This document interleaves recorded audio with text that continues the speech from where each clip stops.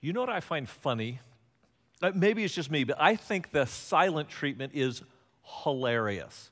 because like here's the here, here's the, the idea. I'm, I'm mad at you so to punish you i'm not going to talk to you. Okay if you're mad at me thank you for not talking to me. I don't, I, I don't want you to talk to me when you're mad you know what i'm saying? So now ladies because i care i want to just give you a little piece of advice the silent treatment might not be your most effective weapon of arbitration with your male significant other because it could take like two days before he even notices. right? And it's not, it's not that we're just inferior human beings. Okay, so it's a little bit of that. But the fact is, men are more comfortable with silence than you might imagine. So take two women, put them in a car, they drive for an hour. If they go an hour without saying a single word to each other, right? I mean, there's a problem. You take two guys, put them in a car, they drive for an hour, they don't say a word. We call that friendship. we can actually go through an entire NFL football game, and though we will produce sounds, guys feel no like necessary urge to complete a coherent sentence. Dude, this is the way we are. So, ladies, probably don't expect us to respond well to the silent treatment. It might actually be a welcome reprieve. Guys, if you are getting the silent treatment, you probably need to figure out what she's saying to you. Oh, I don't know what she's saying. She ain't saying nothing. She's not talking to me. No, listen, son. She's always talking to you especially when she's silent. Ladies on each of our campus, can I get a witness? They're, they're trying to tell you something important you need to listen. So to help you out, guys, I've actually I've composed a poem. It's short. You're welcome. Here it is. When her hands are on her hips, ain't no need to move her lips. Ladies, amen?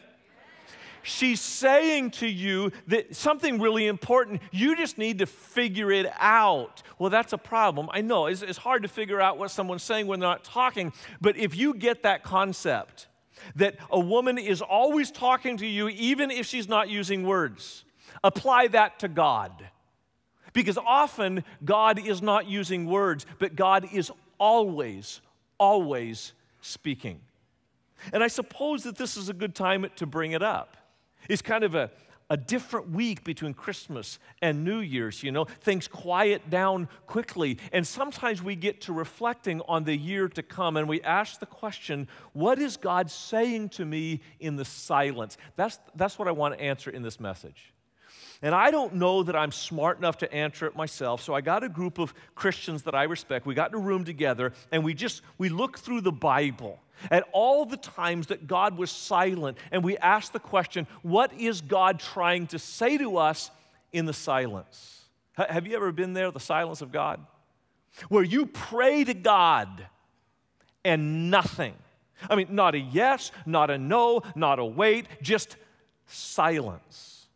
So you open up the Bible and you read, plow through a few verses or maybe a few chapters, and you're saying, God, I'm listening here. It is God's word. You expect Him to speak, but sometimes it never penetrates your heart.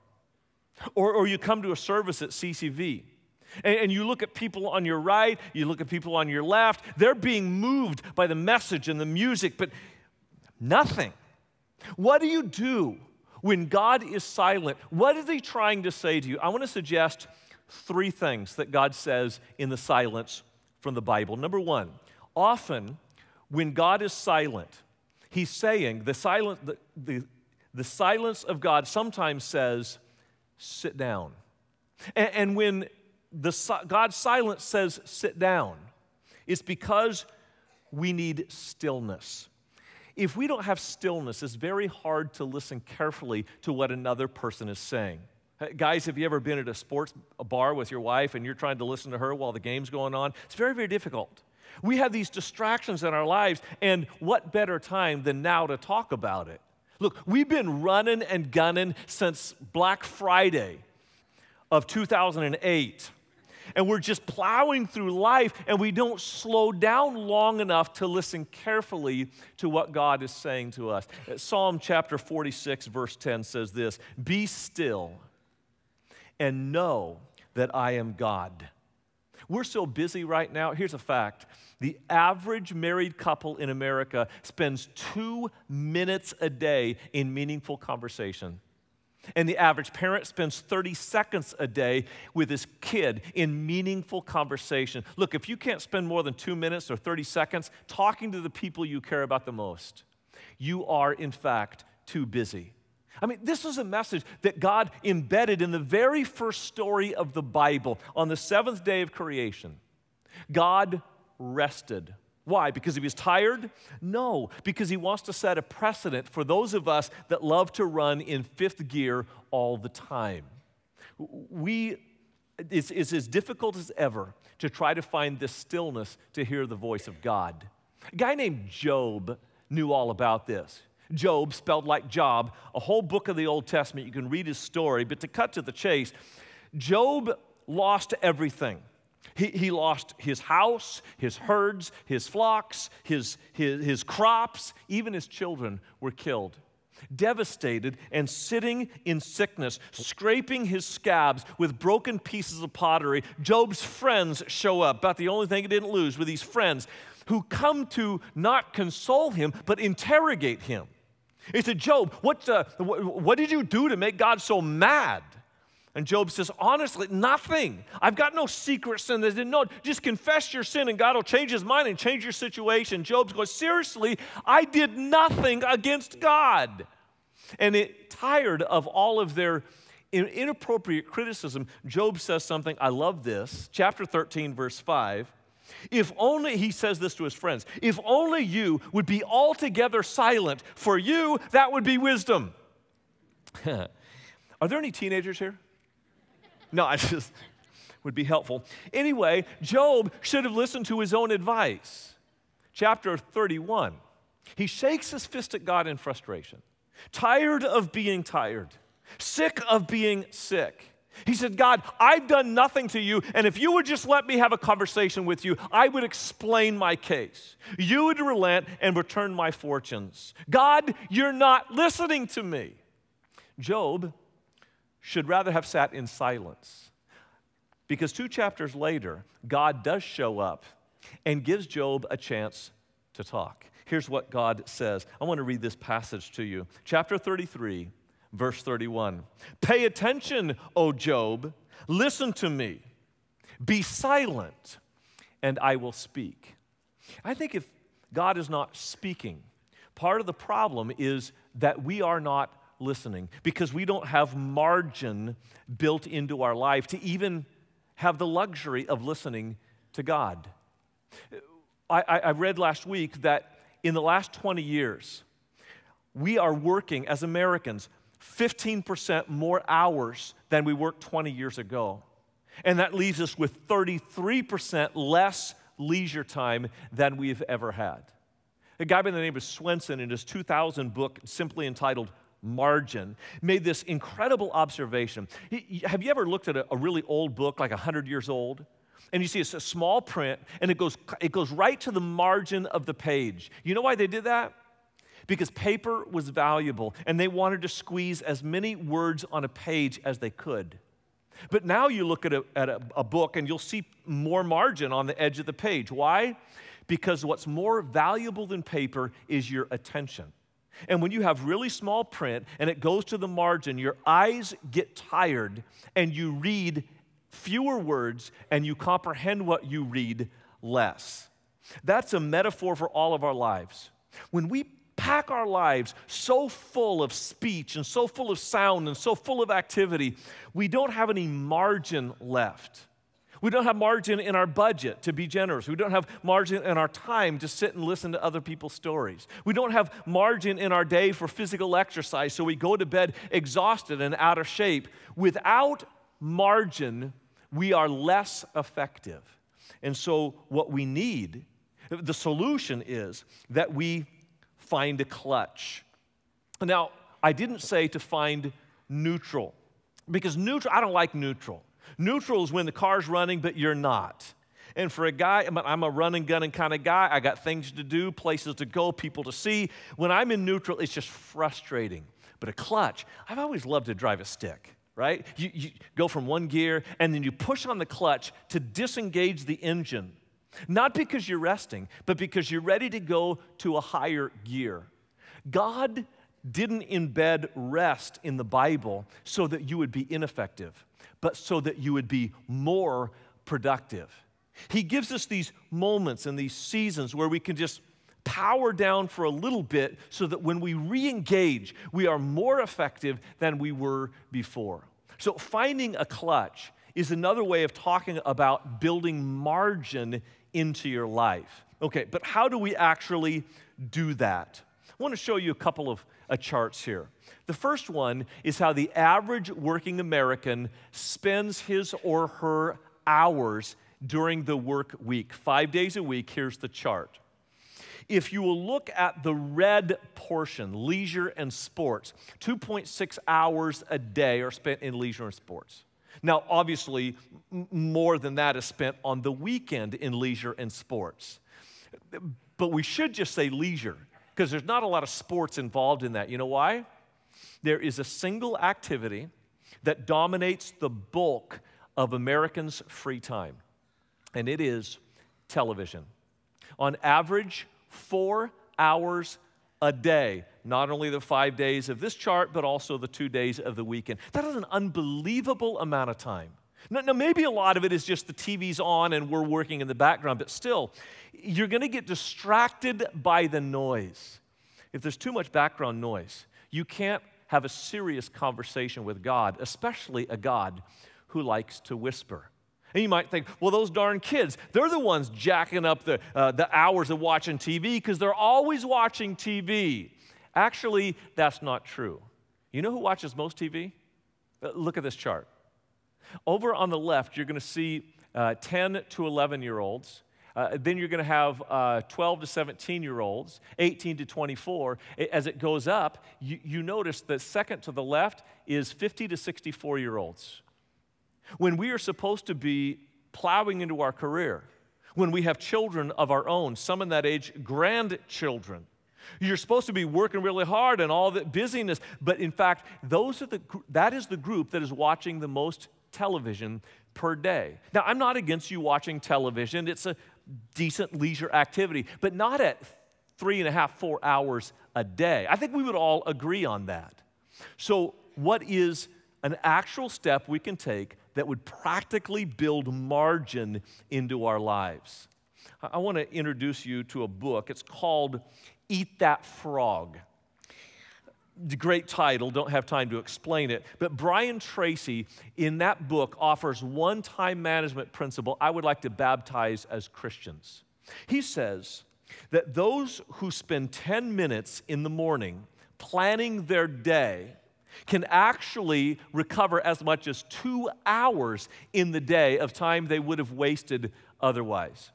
What if we, for the next 30 days, because that's how long it takes to build a habit, would you take up this challenge that for 30 days, every morning you would spend 10 minutes with your to do list laid in front of God?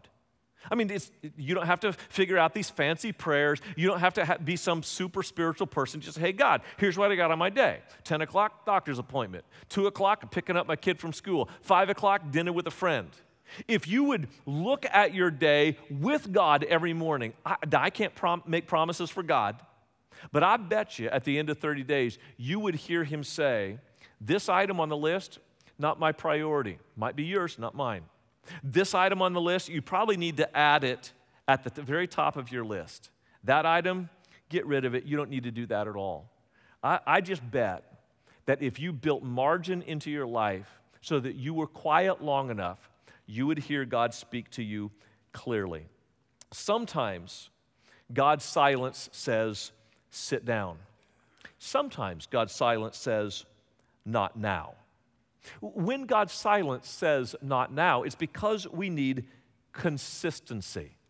So, thinking about this message, I, I went through the Bible and just wondered how often does God actually speak? Like in the Bible, how often does God speak? The, the Bible covers 4,000 years of human history, from Genesis to Revelation. And if you took all the prophets, all the kings, all the apostles, Jesus, John the Baptist, everyone that God spoke to, added up their lifespans, you would get a thousand years. That, that's like 25% of the Bible God speaks. The other times, there are long periods of silence.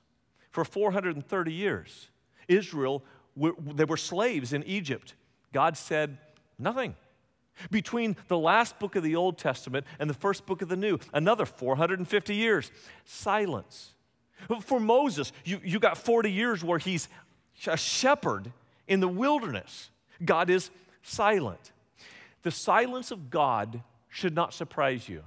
It, it, in fact, is more common than God speaking. So, what is he saying when he says, not now? Typically, God is saying, I have a desert that I want you to walk through. Sorry to be the bearer of bad news, but there's a lot of deserts in the Bible. And, and, and most of the people that God cared about, most of the heroes in the pages of Scripture, walked through a desert. Abraham did. David ran from Saul in the desert. Moses led God's people for 40 years in the desert. Jesus was tempted in the desert. John the Baptist lived in the desert. The Apostle Paul was trained in the desert. Deserts are great places not to hear God, but to see Him. Because when you're in a desert, maybe your desert is a, a physical illness that you've asked God, I, I sure would like you to heal me. And He says, mm, mm, Not yet. Or maybe you've got a child that is wayward you grieve over that child. And God says, Not yet. Maybe you're lonely. You're single or single again. You're going through this desert and you're saying, God, could you just speak to me? And He says, Not yet. There's all kind of deserts that we find ourselves in. And if you feel dry and thirsty for the voice of God, please hear me say this. The silence of God seldom equates to the absence of God. And the funny thing about the desert is, though you don't see God, you or don't hear God, you will see God in the desert, not through the windshield, through the rearview mirror. And as you start passing through the desert, coming to the other side of the desert, and you look in the rearview mirror, you say, Wow, God was with me all along. Deserts are difficult places. And so, what's the solution when you find yourself in a desert? It is to find a gear. Any gear, I don't care, second gear, fourth gear, it doesn't matter. Find a gear and just stick with it. Do what you know is right to hear the voice of God. What, what, what might that look like? Well, for one thing, pray. Just because God is silent doesn't mean that we should be. Keep talking to him about what's on your heart, about the dreams that you have. Keep, go ahead and complain to him about his silence. Job did. It's okay. He might show up. Just be careful what you ask for. That when you're in a desert, you need to make sure that you're still in the Word. Because this, this is God's Word, and He speaks to us through this. And it, you might go a day or two reading the Bible and not hearing much from God, but I doubt you go a month I know you won't go a year. God gave this to us so that when He is silent, you would still have a guide to go by in your life. Read the Bible, come to church. This is a place where you meet other Christians. Go to your neighborhood group. Be faithful to be gathered around other believers. Here's why. Now, I can't prove this scientifically, but what I've noticed is the voice of God often echoes off of other people. And if you will posture yourself next to people who are hearing the voice of God, eventually you'll hear the echo of God from their life to yours. If we're consistent, just find a gear so that you can continue in the habits that are the right places to hear the voice of God. Eventually, ollie ollie oxen free, he'll come out.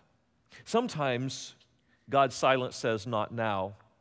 And sometimes God's silence simply says, no. I'm not going to give you what you asked for. Why? When God says no, it's because we need acceptance. We need to accept the will of God for our lives and know that our God has our best interest in mind. This God who flung universes into space like he was finger painting cares about you. He knows what is not just best for you, but best through you. He's going to use your life for his greatest glory, whether you like it or not. The question is not if God will say no to you. The real question that interests me is to whom does God say no? Because maybe you've cried out to God and said, God, I, I sure would like to have a baby. and you get into your 30s, 40s, there's no baby. God, I, I, sure, I sure would like to have a spouse. And, and, you get into your 30s, for, no spouse. God, I'd sure like to have a job that I could take care of my family, to buy them the things that they need or sometimes the things they want. I, I, that would be great. Could you, could you get me that better job? God, I sure would like to not hurt anymore.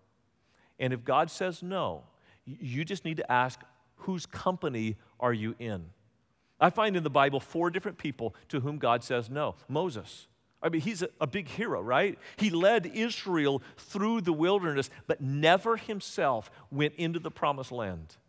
God let him stand on Mount Nebo looking into the land flowing with milk and honey, but when it came time to go in, God says, No, Joshua is going to lead them in, not you. I remember David asked God, God, I would love to build a temple for you because all, all that you've done for me, I want to honor you among the nations. God said, mm, No, that's going to be for your son Solomon. You've got too much bloodshed on your hands from your wars. No, no, you can't build the temple. Solomon will. He begged him, No. Paul, the great apostle and evangelist, went all over the Mediterranean preaching the gospel. He had a thorn in his flesh, whatever that was. I, personally, I think it was probably blindness. Heart, he couldn't see much anymore, reading those scrolls, and his eyes are getting dark. And he says, God, I, I want you to take this away from me. I want you to heal me so that I don't have to suffer with this thorn in the flesh anymore. And God said, No. In fact, Paul records, he said, I asked God three different times, take this away. No. Please take it. No. God, I'm just begging you. No. Why? Jesus, night before he died, kneeling in the Garden of Gethsemane, Father, take this cup away from me. No. I'm going to ask you again, God, please, I don't, I don't want to die on a cross. Whatever, but your will be done, not mine. And God says, no, because it's my will for you to die for the sins of the world. God, I'm asking you a third time, please take this cup away from me. And God said, no, no, no. Who does God say no to? It's not people he doesn't like, it's people he trusts to bear a heavy load so that someone else, somewhere down the road, would be relieved of their burden. And if God has said no to you for a child or for your health or for a job or for anything else, and you're feeling like, God, you, you're let me down. No, God hasn't let you down. He's built you up and put you in a place where your witness for Him can be a great story for others to read. There, there's a lot of people around here at CCV that just I'm so impressed with. Some of them are on staff and they do such a great job, but a lot of the people I'm most impressed with are just people who volunteer around here, people that you see just in the shadows. One of our members, uh, his name is Daryl Kubak. He comes to CCV at the Peoria campus, uh, usually on Saturday night, and you'll recognize him by his biceps. The dude is an absolute stud.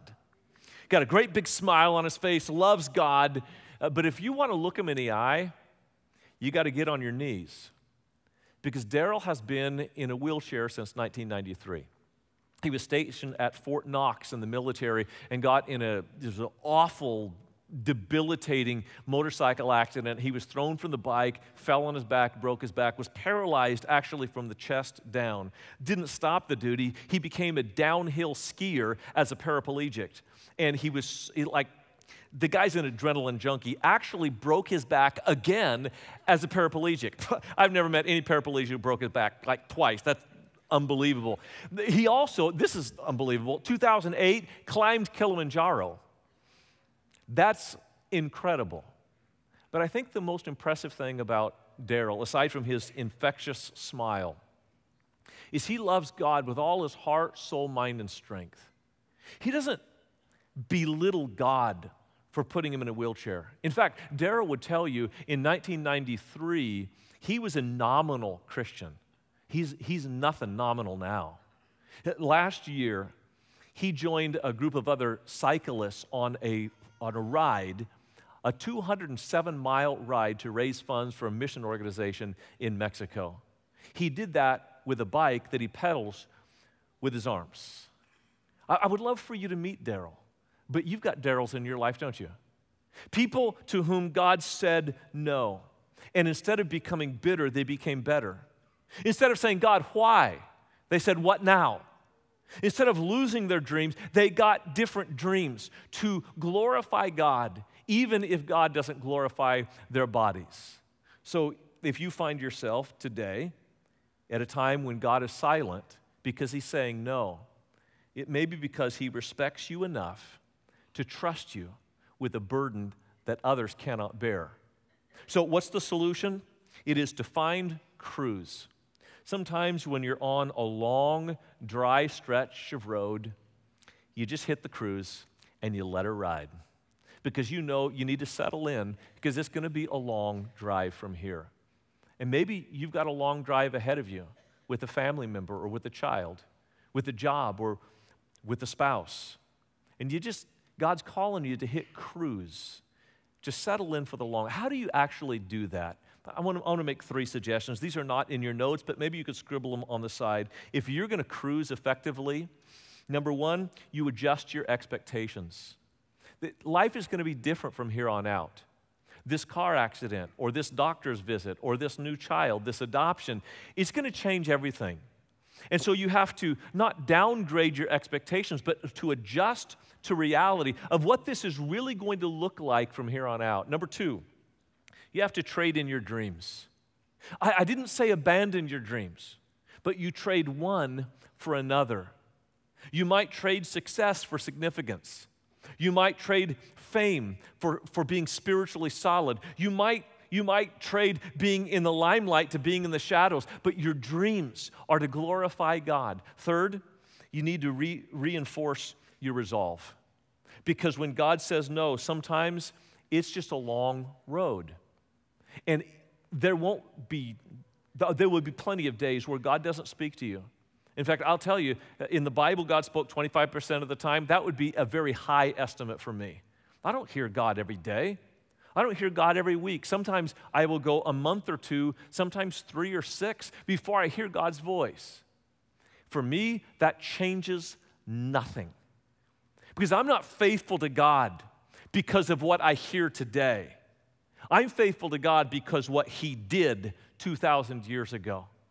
It's not my rear view, it's not my, it's not my windshield that drives me, it's the rear view mirror. I know that God was faithful to me. So if God never speaks to me again, till the day I die, I will still speak for Him because He's true, He's right, and He's real. So, what's your takeaway? If you feel like, man, God's been awful quiet lately, Maybe it's because you need to find a, find a clutch and you need to disengage long enough so that God can speak into your life. For others, it's you just need to find a gear that God has asked you to do some things and you've said, it's not God that said not now, it's you said not now. And maybe you need to re engage with what God has already told you so that He can really have uh, a word in your life.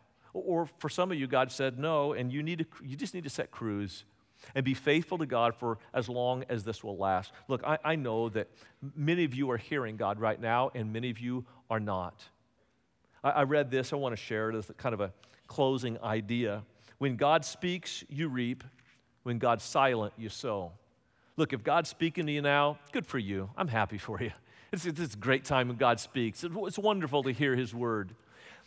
But reaping doesn't last forever. There will come a season of sowing. And if you are in a season right now where God just has gone dark, I assure you, He will speak again. But right now, you need to sow, plant in your life the disciplines that when God speaks again, you will have a great harvest to reap. Let's pray. Holy Father, speak, for your servants are listening.